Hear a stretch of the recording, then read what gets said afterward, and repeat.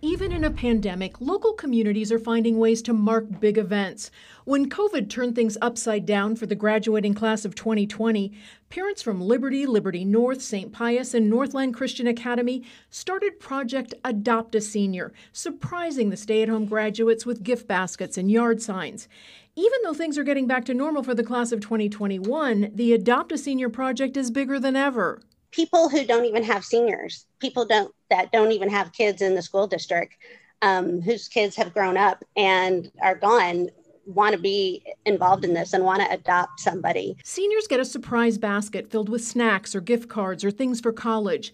At the height of the pandemic, it was drop off only. This year, some students got their surprises in public. One of my favorite pictures is one of the seniors, um, like pulling out a fuzzy soft blanket that she can take to college this fall. And she just was so excited. Students seem to appreciate it. It's always something fun. And I think, you know, these parents did a really great job in creating, you know, kind of a, a tradition that I think is going to stick. The Facebook group matching seniors with their secret signups has grown from 50 to 1,500.